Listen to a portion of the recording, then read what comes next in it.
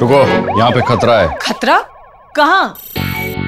इस प्लेट पर। इस चम्मच में भी। इन सब में कैसा खतरा? कॉकरोच। वो रात को पीठ पीछे आते हैं और इन पर जर्म्स फैलाकर छुप जाते हैं। फिर दिन में बच्चे इन्हें छूकर बीमार पड़ सकते हैं। और इसीलिए लाल हिट।